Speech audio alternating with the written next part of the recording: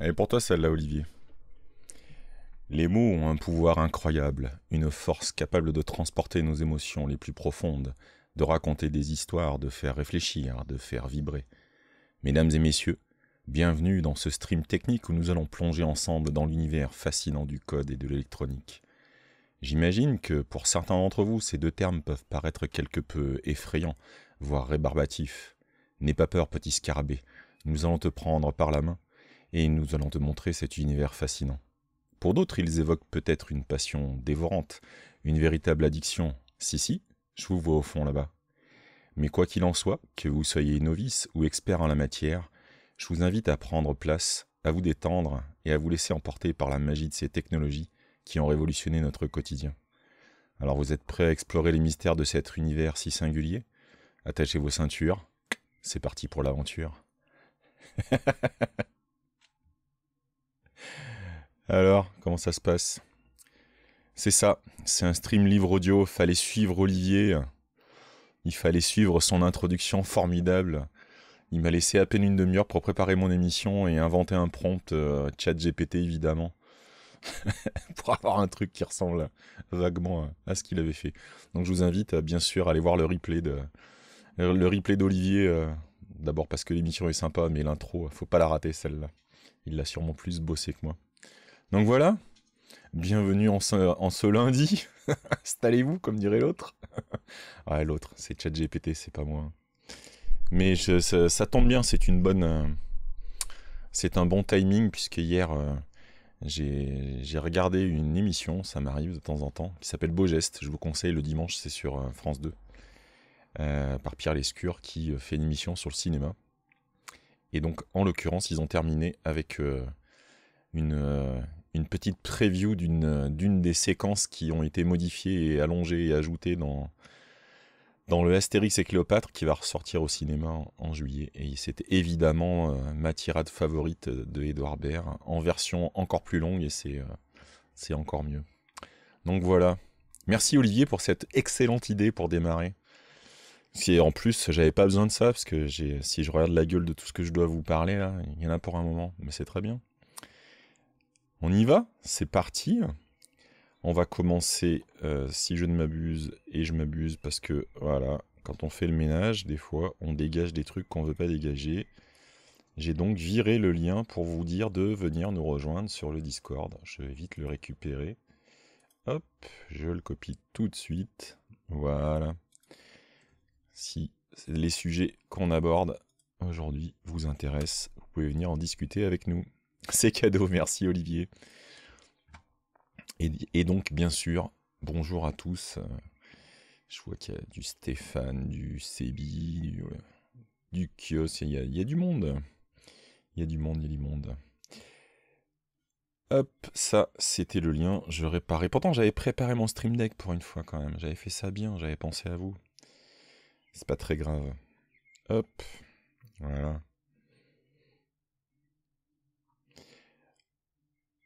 Je vais démarrer. Hop, c'est la petite euh, news perso un peu du jour.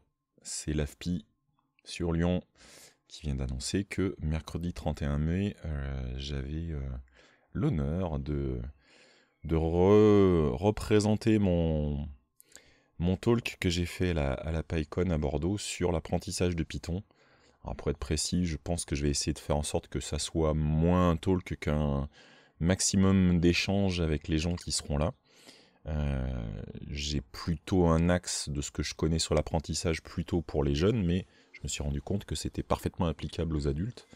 Donc, euh, bah voilà, je, pour ceux qui n'étaient pas à la PyCon et qui veulent venir, il y a tout ce qu'il faut dans le lien pour aller s'inscrire. Vous aurez l'occasion de voir une magnifique terrasse euh, lyonnaise d'ailleurs à l'occasion, puisque c'est dans les, les bureaux de VH Cloud. donc voilà, j'aurai cette joie et j'espère que ce sera moins talk et plus d'échanges parce que moi c'est c'est la formule que je préfère surtout euh, surtout sur tous ces sujets là voilà. Euh, tac tac rapidement parce que je pense que ça fera l'objet euh, peut-être même d'une émission voire d'un talk complet. Ah tu ne pourras pas venir? Bah écoute oui oui oui. Si à l'occasion tu repasses, n'hésite pas à nous le dire. Je serais ravi de te croiser, Nidouille. voilà, c'était ce petit tweet qui m'a interpellé. Et si vous étiez sur le Discord de Calme, ben, vous savez que évidemment la première chose que j'ai faite, c'est craquer pour le, le SID. Alors comment ils appellent ça? Le SID Studio. Il y a un, une SP32 S3 dessus avec une petite caméra qui peut se brancher dessus. Et il y a toute une série d'articles pour utiliser des, des formats un peu réduits de, modèles de machine learning pour faire de la classification, de la détection, des choses comme ça. Et voilà, comme c'est un sujet qui m'intéresse, vous en entendrez parler. Euh, dans l'idéal, si j'arrive à faire quelque chose d'intéressant, j'aimerais bien coller ça dans un talk pour le partager. Mais de toute façon, je, le partagerai forcément euh, sur le Discord. Et ici, bien entendu, c'est quand même ma première source de, partage. Je suis faible face à la tentation, tu as totalement raison. Mais quand j'ai vu cet article, et comme de toute façon, euh, moi j'aime bien cette petite plateforme là de SP32, là, ça et les RP2040 là, qui viennent de ce qu'a fabriqué la, fondation Raspberry, c'est vraiment les deux euh, microcontrôleurs que j'aime beaucoup en ce moment. Parce que euh, on peut les coder pour plein d'usages et avec plein de langages. Du coup, moi qui aime bien expérimenter plein de trucs, et eh ben un achat me permet de m'amuser avec plein de choses différentes. Voilà, voilà. On va reparler tout de suite après, ou même non, on va le faire dans cet ordre-là, en parlant de SP32. Euh, et en parlant de craquage, mais ça j'avais déjà craqué il y a un petit moment. Voilà un des derniers qui est arrivé à la maison. Alors, pour que vous vous rendez bien compte, euh, je vais vous le montrer en réel. Hop. Voilà, c'est assez visible. Donc on distingue le tout petit écran là sur le devant euh, qui fait, je crois, 72 pixels par 40. Voilà. Et c'est euh, ce qu'il y a sur le lien que je vous ai mis là. Euh, alors ça s'achète évidemment par deux et heureusement parce que c'est tellement petit, je sais pas ce que j'ai foutu. J'en ai retrouvé qu'un sur les deux. En tout cas, c'était issu, ça aussi je vais évidemment vous le partager. Tac. C'était issu du talk qu'avait donné Sylvain Malaise à Devox, que j'ai enfin pu voir à, Devox, sur l'utilisation de Rust en embarqué. Euh, donc il avait une partie avec un Atini et puis avec un ESP32 C3. J'en avais pas, c'était l'occasion d'en prendre un de plus.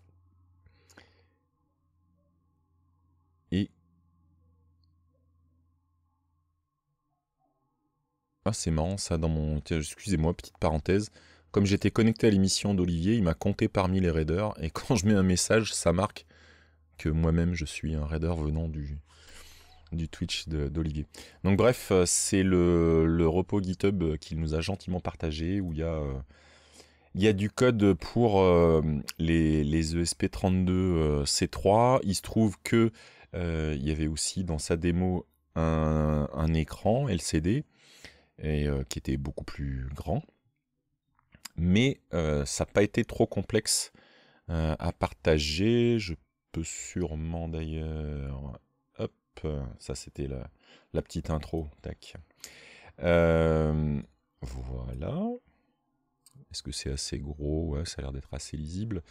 Donc je vais pas vous faire un. J'ai pas du tout la prétention de vous faire le moindre cours euh, euh, sur Rust et l'embarquer. C'est bien trop tôt pour que je me lance là-dedans. Pour l'instant, je découvre, j'explore.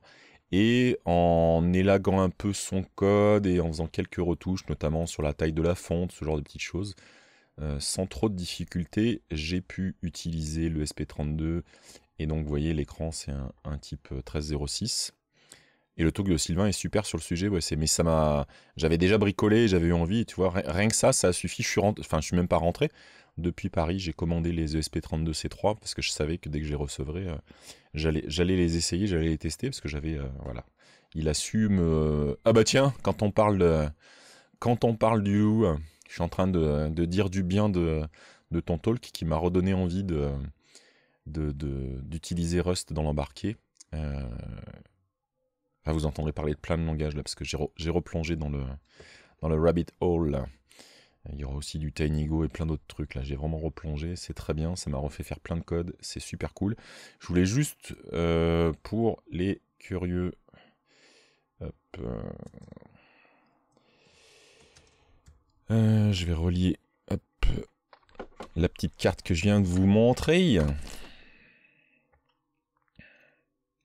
toute façon, je vais pas pouvoir vous montrer le code et la carte. vous avez vu la, taille que ça. Enfin, oui, je vous montrerai une fois que ce sera lancé.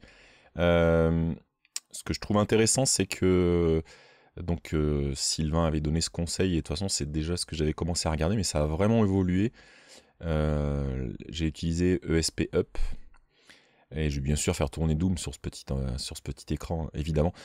C'est Sebi, je vais faire tourner Doom dans le but d'avoir un Doom qui me permet de piloter un cube où je flingue les nodes depuis une carte qui fait, je sais pas, un demi-centimètre de large. Donc, ce que je voulais vous montrer, oui, je dis dans, les outils conseillés par Sylvain, euh, il y a ESP Up, qui est un projet qui permet d'installer euh, Rust pour un, certain nombre de plateformes embarquées.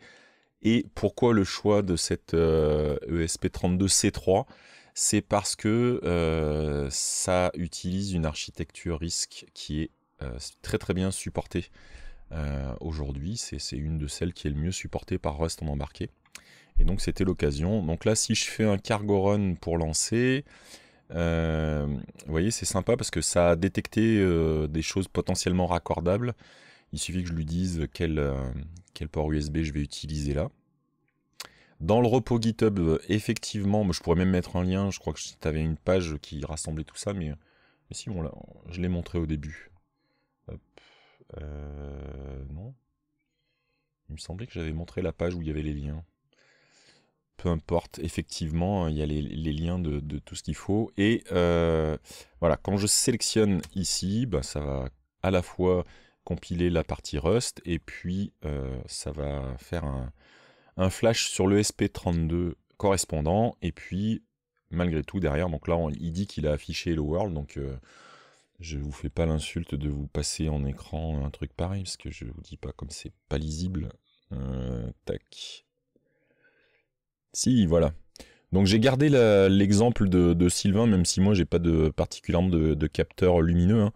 Euh, l'exemple ici va lire une valeur sur un, sur une des broches et puis euh, va l'afficher sur l'écran. Mais euh, ça fait rien comme il y a... Si je passe le doigt, je crois que ça fait changer un peu la, la Voilà, on arrive à, changer la, la, résistance du, de la broche en question et euh, voilà, ça fait, ça fait varier les valeurs. C'était juste pour moi bah, l'occasion de mettre en place la, la toolchain et, et puis de me prouver que ça fonctionnait correctement. donc c'est le cas. Donc merci une fois de plus, bah, c'est cool que tu sois là d'ailleurs, merci Sylvain. Euh, tu n'es pas le seul évidemment, puisque à Volcamp, j'avais pu aussi assister au talk qui utilisait la T-Watch 2020. voilà. Donc ça m'avait déjà, déjà redonné envie, mais c'était plus difficile à mettre en place. Et d'ailleurs, il n'y a pas eu de mise à jour. Le repos en question ne fonctionne plus actuellement et c'est un petit peu au-delà de ce que je saurais faire. Je pense qu'il faudra que je donne un coup de main si je peux, mais surtout relancer pour, euh, pour pouvoir coder du Rust sur cette montre. C'était aussi l'idée aussi. Mais là, là c'est pas mal. C'est pas mal. Euh, je vais également regarder, euh, mais ça c'est vrai avec d'autres langages. Hein. Je, me suis retrouvé, euh, peut-être mieux de mettre en plein écran. Je l'avais mis de côté, mais à l'époque j'avais acheté un, Pico Explorer qui permet de, mettre une carte Raspberry Pico. je dois même pouvoir mettre la, la Pico en version Wi-Fi, et puis il y a un écran, il y a des boutons, enfin de quoi expérimenter avec de nouveaux langages, c'est toujours l'occasion. Oui, oui, oui, c'est Pierre Gaillet qui avait fait la démo avec euh, la Ligo T-Watch. mais, mais voilà, c'était c'était un microcontrôleur un peu moins bien supporté. Entre-temps, il y a des choses qui ont bougé. C'est un domaine qui bouge énormément en ce moment. Ça commence à, se stabiliser, je trouve. Puisque là, j'ai vraiment pas souffert pour mettre en place. L'autre fois, j'avais dû compiler encore des trucs et tout, passer en Nightly. si, là, je suis passé en Nightly. Pas pour le support de l'ESP32C3, ça, ça fonctionnait déjà très bien. Euh, c'est une des librairies. Euh, euh, c'est une, pour être précis, c'est une dépendance de la librairie Embedded Graphics qui s'est plaint d'un truc qui nécessitait de passer sur la, de, de repasser sur la Nightly. Sinon, le reste, ça, ça, compilait sans, sans, la Nightly, ce qui est pas plus mal.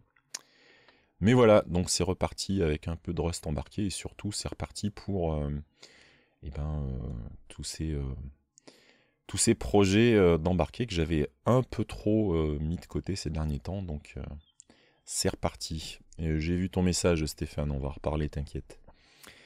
et puis je voulais aussi vous parler là dans les actualités de ce que j'ai vu passer de sympa dans la semaine.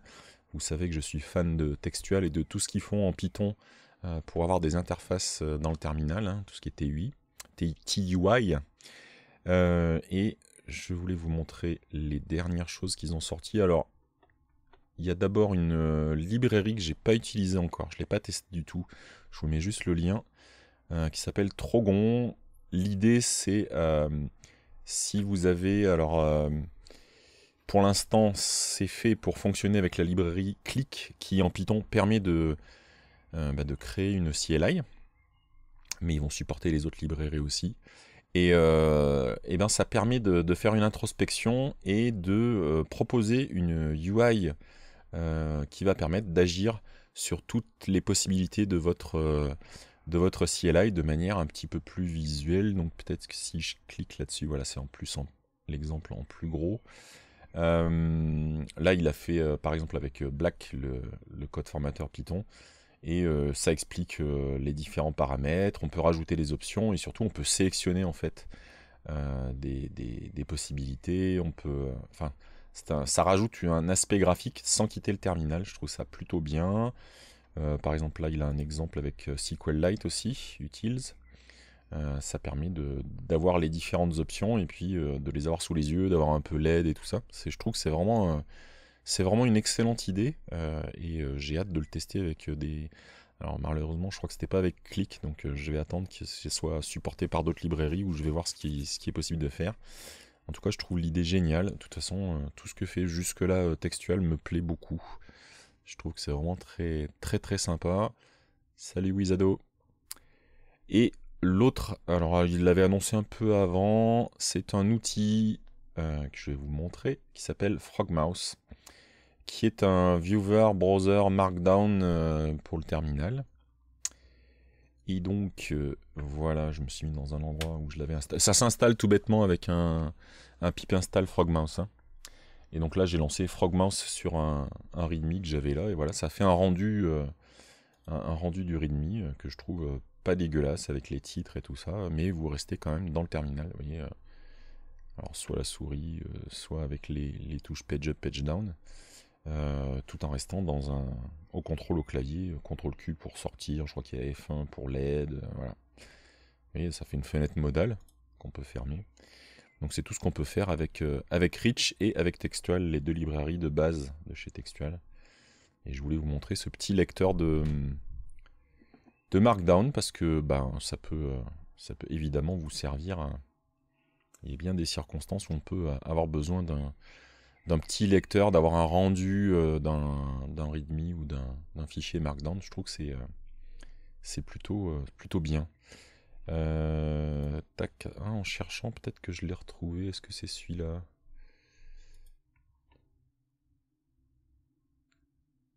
Non, mais c'est bien. Voilà. C'est, je vous remets le lien, c'est bien le, le GitHub et il y a les liens sur les, slides de, de, Sylvain. Donc vous pouvez, euh, pouvez les parcourir ça si vous voulez un petit peu plus de détails sur la façon dont il a présenté ça et même une vidéo deux vidéos, celle au Capitole du Libre et euh, celle à Elastic Rust Guild. Voilà, voilà. Et puis, ben, pour, euh, pour terminer, je voulais vous partager. Alors, c'est le créateur justement de, chez, euh, de chez Textual qui, a posté ce lien. Je trouve ça mignon, rigolo. Donc, ça fait une espèce de grosse boule. C'est un bocal. Vous allez pouvoir, euh, voilà, euh, vous voyez, je clique avec la souris, ça rajoute par exemple là du sable, donc on peut faire des, petites zones de sable. Euh, après, on peut rajouter de l'eau. Voilà. Et une fois que vous avez mis tout ça, vous allez pouvoir rajouter, alors éventuellement, ce qu'on n'aime pas toujours dans les dans les aquariums, et voilà, vous allez avoir des algues, vous allez voir qu'avec le temps, elles vont gentiment proliférer. Il y a un phénomène de jour-nuit. on va rajouter des, des daphnias. Vous pouvez rajouter des poissons qui vont euh, se nourrir de, ce qui peut traîner à l'intérieur. On peut rajouter alors un peu d'herbe éventuellement dans un coin. Et les éléments ont des interactions les uns avec les autres. Moi, je trouve ça assez marrant. On peut changer la. Euh, non, on peut pas l'éditer, pardon. On peut observer l'état de, la répartition CO2 euh, oxygène à l'intérieur. Bonjour, monsieur Charles.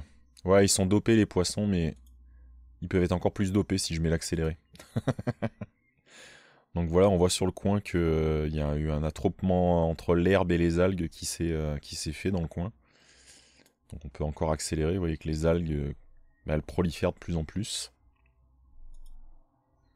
Euh, là au milieu, on a des bactéries qui sont apparues au bout d'un moment quand il y avait beaucoup trop d'algues. Et je sais pas si on peut agir sur. Euh, alors c'est tout, c'est tout, c'est tout étrange, mais c'est voilà, on peut faire des, bouts de bois qu'on met au milieu. je suppose que les algues, elles vont se poser dessus éventuellement. Il n'y a pas toujours la gravité pour tout. c'était, je trouvais ça rigolo. Pourquoi on pourrait rajouter du verre Ça c'est... Je sais pas ce que c'est, pourquoi il y aurait du verre. Bon, bref. Ah oui, pour faire peut-être un rebord par exemple, si je fais un rebord là.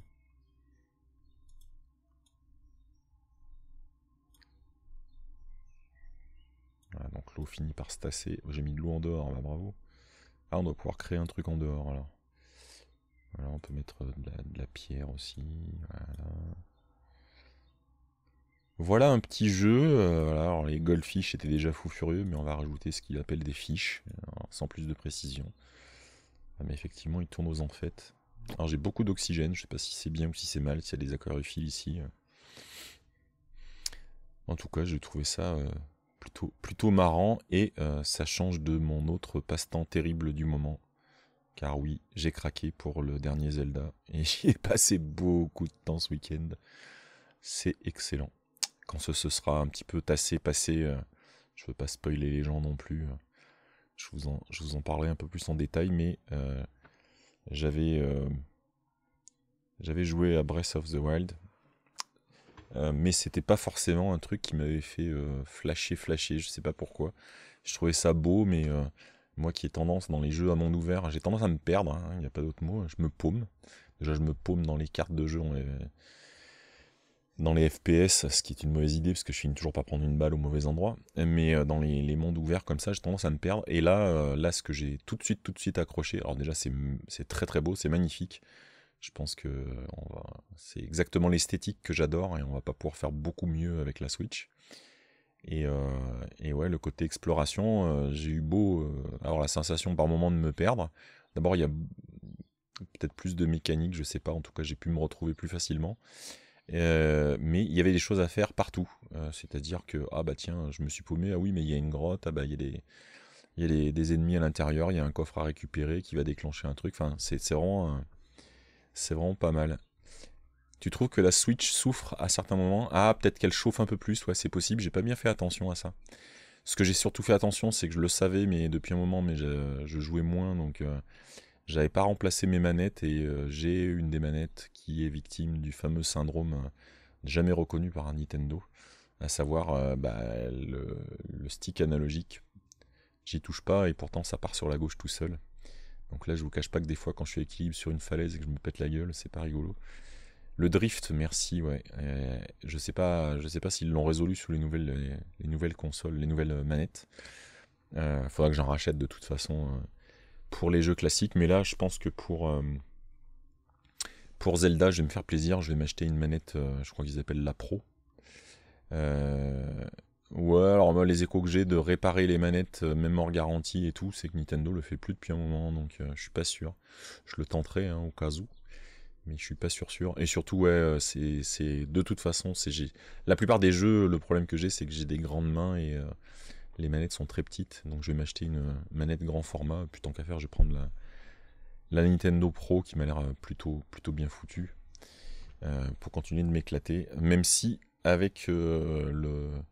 J'ai une petite chute de vue à nouveau, la presbytie m'a déjà bien attaqué, ça c'est clair, mais là j'ai un nouveau pic avec mes lunettes. J'ai du mal à, profiter de l'écran de la Switch vraiment à, fond. Donc je joue sur, sur mon écran, bien sûr. Il faut que je me rapprenne un rendez-vous pour changer mes lunettes aussi. Voilà ce que fait, ce que fait faire Zelda. Et donc du coup, c'est vrai que j'ai passé pas mal de temps. Euh, peut-être qu'il faudrait que je refasse un petit euh, calme gaming. Euh, ah, Stéphane qui dit en France, voire en Europe, je crois qu'ils ont perdu un procès, ils sont obligés. Je me renseignerai puisque ça vaut le coup. De toute façon, je vais pas aller jeter ces manettes, il est hors de question. Donc je vais, je vais voir ce que je peux faire. oui, je disais peut-être refaire une session calme gaming, vous en reparlez là. Euh, je sais pas s'il l'avait dit quand c'est sorti, j'avais euh, baqué. Bah, je vais vous mettre le lien après tout. Zelda, vous n'avez pas besoin de moi. Par contre, voilà, tac. Je vais vous le partager tout de suite.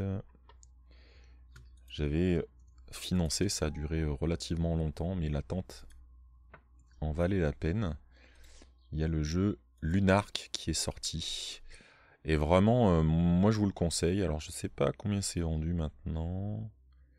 J'ai pas joué des masses, voilà. J'ai joué 2h30 et après je suis tombé dans Zelda, c'est la honte. Euh, voilà, 20 balles, franchement il les vaut. Euh, certes, il y a un côté flashback, mais il y a plein de, jeux moi que j'avais adoré plus jeune et je trouve qu'il a modernisé tout ça tout en gardant une patte graphique super sympa. Ça tourne merveilleusement bien sur ma Steam Deck. Euh, donc les deux heures et demie vont quand même augmenter malgré Zelda, je pense. Et euh, moi, je me suis régalé. Hein. Les deux heures et demie, j'ai déjà bien avancé dans le jeu. Euh, c'est vraiment. Il y, a, plein de petits détails de, gameplay. On perd, on repart. ou Another World, Another World aussi. Mais même dedans, il y a des mécaniques qui clairement viennent de, Prince of Persia. Enfin, il y a, plein de, très très bonnes idées. Il y a plein de petits easter eggs cachés. C'est vraiment. Et voilà, bah d'ailleurs, vous voyez la vidéo sur Steam, là, c'est Johan Vinet, ou Vinette, je sais pas comment on prononce, qui est quelqu'un d'adorable, j'ai eu la chance d'échanger un petit peu. Donc, euh, voilà, soutenez aussi les gens hein, qui prennent le temps de peaufiner. Euh, alors, je dirais pas qu'il est tout seul, je crois qu'il a travaillé en collaboration, mais quand même, il a mené le truc à bout de bras. Euh, et, le résultat est vraiment super, super sympa. Je me suis vraiment régalé, mais désolé, Johan, j'avoue que je voulais, je voulais d'abord jouer à Lunark et pas toucher à, Zelda. Et je m'étais préservé, je regardais rien et tout. Et je suis tombé sur un live Twitch. Et dit, c'est pas possible, je peux pas passer à côté. Je me suis démerdé pour l'acheter parce que c'était pas, je pouvais pas continuer. Sinon, il y a la décompilation de Zelda Ocarina of Time de Nintendo 64, qui était déjà un très bon Zelda. Celui-là aussi, j'avais passé du temps. Et Flashback 2, bah, on verra. En attendant, si vous aimez ce type de jeu, je ne peux que vous conseiller Lunark. D'ailleurs, je retournerai faire un petit tweet euh, à ce sujet pour, euh, pour lui faire de la pub, parce que c'est vraiment quelqu'un qui mérite. C'est vraiment, il a pris le temps de... moi, j'ai bien aimé tout ce que j'ai trouvé dans son gameplay. Voilà. Et puis bon, ben après, voilà, j'ai fait le vilain, j'ai plongé dans Zelda. Euh, si euh, euh, vous êtes passé sur le Discord, vous savez que j'ai ressorti le Flipper 0. Non, je ferai pas un TikTok pour encore me faire pourrir. voilà, il y a une fonctionnalité en NFC, j'en dirai pas plus, venez discuter sur le Discord, qui permet de débloquer des trucs dans le jeu. Oh, le vilain cheater. ça permet d'émuler des amiibo, et ma foi, ça marche plutôt bien. Voilà. Et eh ben, j'ai commencé avec quelques minutes de retard. On finit à une petite demi-heure, là, c'est pas mal. Je sais pas s'il y en a qui ont des questions. Voilà, oui, au passage, là, sur la, vidéo, j'avais gardé sur l'écran, il y a une scène euh, dans, dans Lunark, clairement inspirée de la scène d'Indiana Jones, euh, avec le mouvement de sabre et le coup de flingue. C'est pas de ta faute, Olivier, c'est très bien. Moi, ça me va très très bien, les gens le savent en plus. Voire même, je te dirais que ceux qui, qui, n'allaient pas sur ton, sur ton live et qui attendaient avec moi que tu arrives euh, avec le raid que tu fais à chaque fois, maintenant j'ai l'impression qu'ils vont directement sur ton live et c'est une excellente idée. Merci euh, à toi, euh, Fixulab. Donc j'espère que tout ça vous a un petit peu plus intéressé. Euh, je peux peut-être éventuellement vous remettre, puisque j'en ai reparlé. Hop. Euh, hop, je remets le lien et je vois qu'il y a des gens qui se sont déjà inscrits sur le Discord. Oui, oui, je, l'ai mis au début et je le remets à la fin. Monsieur Conduino, vous faites bien de me le rappeler, vous avez raison. Vous avez mille fois raison. Et je vais le remettre dans mon Steam Deck que j'avais cassé tout à l'heure. Donc euh, oui, je vois que nous avons Sylvain qui est apparu et Chavenet. Je, vous rajoute, il faut juste que je vous rajoute euh, les droits pour voir les autres channels. Mais ce sera fait euh, juste une fois que j'aurai terminé l'émission. Je vous souhaite évidemment une excellente journée. Je vous souhaite et c'est aussi vrai pour le reste de la semaine. Passez une bonne semaine. Moi, ça m'a fait du bien ce week-end au soleil aussi, même si j'ai pas fait un grand week-end. Ça m'a fait du bien aussi de rejouer beaucoup, parce que ça a réveillé des morceaux de geek qui s'étaient un peu trop endormis, donc c'est très bien. Et bizarrement, ça m'a fait refaire coder derrière. Je ne sais pas quel est le lien. En tout cas, ça a stimulé des choses. J'avais arrêté de, coder un peu ces temps-ci, donc c'est très bien. Des bisous, à bientôt sur le Discord ou ailleurs. N'hésitez pas. Et ciao ciao